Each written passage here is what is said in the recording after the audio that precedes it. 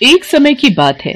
मोहनपुर नामक गाँव में सदानंद नाम का एक गरीब ब्राह्मण रहता था। वो स्वभाव से बहुत धर्म, कर्म और पूजा पाठ करने वाला था। ब्राह्मण नियम से रोज़ाना सुबह पीपल के पेड़ पर जल चढ़ाता था। उसी पेड़ पर माँ लक्ष्मी का वास था। एक दिन ब्राह्मण की पूजा से प्रसन्न होकर माँ लक्ष्मी ने एक लड़की का रूप धारण किया और पीपल में से निकलकर उस ब्राह्मण के पास आई। तुम कौन हो बेटी? तुमने मुझे पिता कहा है। मेरा इस दुनिया में कोई भी नहीं है। मैं आपको रोज़ाना यहाँ पीपल पर जल चढ़ाते हुए पूजा करते देखती हूँ। इसलिए मैंने आपको अपना पिता कहा है। पिताजी क्या मैं भी आपके साथ आपके घर चलूँ? मेरे साथ? पर मेरी तो पहले से ही छह लड़कियाँ हैं। अगर मैं इसे अपने घर ले गया तो खिलाऊँगा क्या? हम तो रूखा सूखा खा लेते हैं। पर ये बेचारी रूखा सूखा कैसे खा पाएगी? ब्राह्मण कुछ नहीं बोला और वापस घर लौट आया। अब ब्राह्मण जब भी पीपल पर जल चढ़ाने जाता तो ऐसा हर रोज होने लगा। इसी चिंता में ब्राह्मण बहुत कमज़ोर हो गया। उसका मन अशांत रहने लगा। एक दिन ब्राह्मण की पत्नी उससे बोली, सुनो जी, क्या बात है? आप कुछ दिनों से अशांत और दुखी दिखाई दे रहे हो। मैं आपकी इतनी सेवा करती हूँ, फिर भी आप इतने कमज़ोर क्यों होते जा रहे हो? इसका क्या कारण है? आपको कौन सी चिंता सता रही है? मुझे कहिए, शायद मैं आपकी कोई सहायता कर सकूँ? यशोदा, कुछ दिनों से मैं जब भी पीपल पर जल चढ़ाने जाता हूँ, उस पीपल में से एक लड़की निकल कर आती है और मुझे बड़े प्रेम से पिताजी कहकर बुलाती है और रोज़ाना मेरे साथ आने की बात कहती है। अब तुम ही बताओ, हम उस कन्या को क्या खिलाएँगे? और उसकी क्या सेवा करेंगे? अरे तो इसमें चिंता की क्या बात है? जहाँ हमारी छह लड़कियाँ हैं वहाँ एक और सही। और उसने आपको पिता कहा है अब वो हमारे यहाँ आएगी तो अपना भाग्य साथ लेकर आएगी। इसलिए उसे कल अपने साथ ले आना। अगले दिन जब कन्या रूप में माँ लक्ष्मी ने ब्राह्मण को घर साथ चलने के लिए कहा तो वो लड़की को अपने साथ घर ले आया। जिस दिन से ब्राह्मण उस लड़की को घर लाया उसी दिन से उसके दिन बदलने लगे। यशोदा तुम्हें पता है भिक्षा के लिए जहाँ रोज मुझे एक या दो कटोरी आटा मिलता था आज मुझे बोरी भरकर आटा चावल मिले हैं। यशोदा मुझे तो लगता है कमला हमारे लिए देवी लक्ष्मी का रूप बनकर आई है। वैसे हमारी सब बिटिया बाहर खेल रही हैं, पर कमला बिटिया कहाँ है? रसोई में ज़बरदस्ती खुद खाना बनाने चली गई है। मैंने तो उसे कहा कि तू अभी बहुत छोटी है तेरा हाथ जल जाएगा पर वो नहीं मानी हम सबके लिए भोजन बना रही है। अच्छा फिर तो मैं जल्दी से हाथ मुँह धो लेता हूँ। अपनी कमला बिटिया के हाथ का गरम गरम भोजन खाऊँगा। कन्या ने गूंथने के लिए आटा निकाला तो आटे की परात अपने आप भर गई। वो कन्या जिस किसी चीज़ को हाथ लगाती वो दुगनी हो जाती। कन्या रूपी देवी लक्ष्मी ने कई प्रकार के भोजन बना दिए। सभी ने उस दिन भरपेट भोजन किया। कमला तुमने तो बहुत ही स्वादिष्ट भोजन बनाया है। पिताजी फिर तो आप थोड़ी सी दाल और ले लो।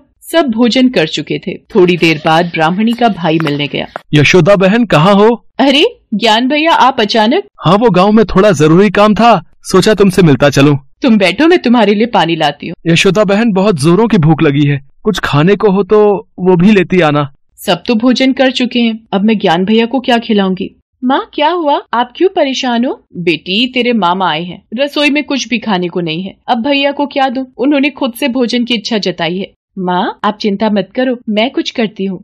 कमला तो साक्षात देवी लक्ष्मी थी। वो रसोई में गई और अपने मामा के लिए स्वादिष्ट भोजन बना लाई। उन्होंने खुशी खुशी भोजन किया। शाम हुई तो कमला ब्राह्मणी से बोली, माँ, आप दिया जलाकर यही कोठरी में रख दो। आज मैं यही सोऊँगी। पर कमला बेटी, तू अभी बहुत छोटी है। यहाँ अकेले कैसे सो पाएगी? तू डर गई तो? माँ, आप चिंता मत करो, मैं नहीं डरूँगी। यशोदा को समझाकर कमला बनी लक्ष्मी माँ कोठरी में ही सो गई। आधी रात को कन्या के रूप में माँ लक्ष्मी उठी और कोठरी में चारों ओर देखने लगी। और देखते ही देखते कोठरी में धन, दौलत और अनाज के भंडार भर गए। माँ लक्ष्मी अपने देवी रूप में आ गई और वहाँ से जाने लगी। तभी ब्राह्मण ने उन्हें आवाज़ लगाई। देवी लक्ष्मी, आप मेरे घर में एक कन्या के रूप में बेटी बनकर आई और मैं आपको पहचान भी नहीं सका। हे लक्ष्मी माँ, हम पर कृपा करो। हे देवी लक्ष्मी हमसे कोई भूल हुई हो तो हमें क्षमा कर देना। तुम दोनों ने तो मेरी बहुत सेवा की है, और मैं तुम दोनों की सेवा से बहुत प्रसन्न हूँ। तुम दिन रात पूजा पाठ में ध्यान लगाते हो, मेरी पूजा करते हो, सबका भला करते हो। तुम्हारा स्वभाव बहुत ही दयालु है।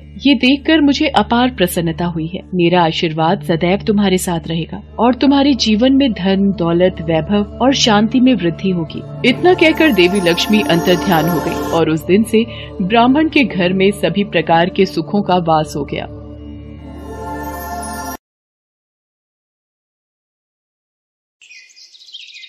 जानकी एक गरीब औरत थी।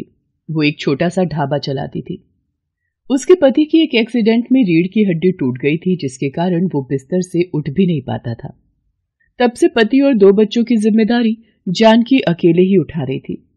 जानकी ढाबे पर पूरा दिन मेहनत करती और जो भी कमाई होती, उससे घर का गुजारा करती थी। कुछ दिनों से जानकी के ढाबे पर रोज़ाना एक बूढ़ी औरत खाना खाने आने लगी थी। उस गरीब औरत के पास खाना खाने के पैसे नहीं होते थे। इसलिए जानकी उसे मुफ़्त में ही खाना खिलाती थी। ये लो अम्मा, आराम से खाना खाओ। मैं तुम्हारे लिए रायता और ठंडा पानी लाती हूँ। जीती रहो बेटी, भगवान तुम्हारा भला करे। तुम मुझ गरीब, लाचार बूढ़ी को रोज़ाना भरपेट खाना खिलाती हो। ये सबसे बड़ा पुण्य का काम है। धन्यवाद अम्मा, मुझे आपकी दुआओं की बहुत ज़रूरत है। बस आपके आशीर्वाद से मेरा ये ढाबा चलता रहे यही दुआ देना। हाँ बेटी ऐसा ही होगा।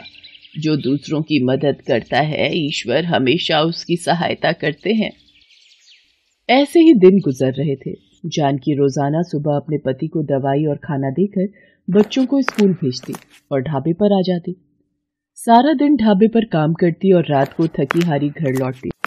जानकी तुम कितनी अच्छी हो। तुम मेरी और बच्चों की कितनी सेवा करती हो। सारा दिन घर का भी काम, ढाबे पर भी काम। तुम कितना थक जाती होगी। अरे, जब आप और बच्चे मेरे साथ बातें करते हो तो मेरी सारी थकान मिट जाती है। ऐसे ही बातें करते हुए ना जाने जानकी की आँख कब लग जाती है, उसे पता ही नहीं चलता। अगले दिन जानकी जब ढाबे पर पहुँचती है तो वो हैरान रह जाती है। उसके ढाबे के सामने एक नया ढाबा खुल गया था। अब लोगों की भीड़ वहाँ लगनी शुरू हो गई थी। ये मेरे ढाबे के सामने नया ढाबा कैसे खुल गया? मेरे ढाबे पर तो कोई भी ग्राहक नहीं आया। सब सामने नए ढाबे पर ही जा रहे हैं। अब क्या होगा? अगर मेरे ढाबे पर कोई नहीं आया तो बना हुआ सारा खाना बेकार जाएगा। मैं कैसे कमाई करूँगी? जानकी अभी इसी परेशानी में थी कि तभी वो बूढ़ी औरत वहाँ आ जाती है। जानकी बूढ़ी औरत को खाना देती है। क्या हुआ बेटा? तुम किस परेशानी में हो? आज तुम्हारा मन ठीक दिखाई नहीं दे रहा। अम्मा बहुत घबराहट हो रही है। आज सुबह से एक भी ग्राहक नहीं आया। वो सामने एक नया ढाबा खुल गया है। हर कोई वहीं से खाना खा रहा है। मैं क्या करूँगी अम्मा? कैसे घर चलाऊँगी? बेटी, तू चिंता मत कर। तू देवी लक्ष्मी की आराधना कर। उनकी कृपा से तेरे सारे दुख दूर हो जाएँगे। देवी लक्ष्मी की पूजा करने से तेरा काम फिर से चल पड़ेगा। ठीक है अम्मा, अगर ऐसा करने से मेरे कष्ट दूर होते हैं तो मैं देवी लक्ष्मी की दिन रात पूजा करूँगी। बूढ़ी अम्मा के कहने पर जानकी ने माँ लक्ष्मी की पूजा करनी शुरू कर दी। जानकी को कई दिन बीत गए थे, पर उसके ढाबे की बिक्री नहीं हो रही थी, और दिन पर दिन उसका नुकसान होता जा रहा था। वो जो भी खाना बनाती थी, वो सब पड़ा रहता था, और एक या दो ग्राहक ही उसके ढाबे पर आ रहे थे। जानकी के ढाबे के सामने वाला ढाबा बहुत चल निकला था। उसका मालिक बहुत खुश था। उसे अपने ऊपर घमंड होने लगा था। शुरू शुरू में नया ढाबा था तो मैंने ग्राहकों को बहुत शुद्ध और ताज़ा भोजन करवा दिया। और अब थोड़ी सी मिलावट भी कर दूँगा तो किसे पता चल रहा है, है? ढाबे वाले ने अपने भोजन में मिलावट करनी शुरू कर दी। उसके खिलाफ बहुत सारी कंप्लेंट थी। पुलिस ने उसके ढाबे की चेकिंग की तो पता चला कि वो खाने में मिलावट करता था और बासी खाना लोगों को खिलाता था। तुम्हारे ढाबे के बारे में सारी जानकारी मिलने के बाद ही हम यहाँ पर आए हैं और आज अपनी आँखों से देख भी लिया कि तुम अपने भोजन में मिलावट करके ग्राहकों को भोजन खिलाते हो। इंस्पेक्टर साहब, सामने जानकी का ढाबा है। हमने भी कितनी बार उस ढाबे से खाना खाया पर मजाल है, आज तक हम सब में से कोई भी बीमार पड़ा बिल्कुल भाई साहब, आप ठीक कह रहे हैं। जानकी जी के ढाबे से हम कितनी बार खाना खाते हैं, पर हम में से कभी कोई बीमार नहीं पड़ता। इंस्पेक्टर साहब, गलती हो गई। आज के बाद मैं कभी भी खाने में मिलावट नहीं करूँगा। मुझे छोड़ दीजिए। रे हवलदार, ये ढाबे पर ताला लगा दे। आज के बाद ये ढाबा कभी नहीं खुलेगा। ढाबे वाले को अपनी गलती की सजा मिल जाती है और ग्राहक फिर से जानकी के ढाबे पर खाना खाने आने लगते हैं। ये देखकर जानकी बहुत खुश होती है। हे देवी लक्ष्मी, आज आपकी कृपा से मेरा ढाबा फिर से चल पड़ा है, पर वो अम्मा आजकल मेरे पास नहीं आती है। पता नहीं क्या बात है। उन्होंने ही तो मुझे आपके बारे में बताया था। जानकी कई दिनों तक उस बूढ़ी अम्मा के आने का इंतज़ार करती है, पर बूढ़ी अम्मा ने वहाँ आना छोड़ दिया था। जानकी उन्हें बहुत याद करती है। एक रात जब वो सो रही थी जानकी, मैं जानती हूँ, तुम मुझे बहुत याद कर रही हो, और तुमने मेरी बहुत सेवा की है। मैं ही तो तुम्हारे पास प्रतिदिन भोजन खाने आती थी। बूढ़ी अम्मा बूढ़ी अम्मा के रूप में आप मेरे पास भोजन खाने आती थी। माँ, मैंने आपको पहचाना ही नहीं। मुझे क्षमा कर दो माँ। आज आपकी पूजा करके मेरी ज़िंदगी में खुशियाँ फिर से लौट आई है। मेरा ढाबे का काम फिर से चल पड़ा है। जानकी, ये सब तुम्हारे पुण्य कर्मों का फल है। तुमने मुझे बूढ़ी और लाचार समझकर हमेशा भूख में भोजन खिलाया है। मैं तुम्हारी सेवा से बहुत प्रसन्न हूँ। मांगो, क्या मांगती हो?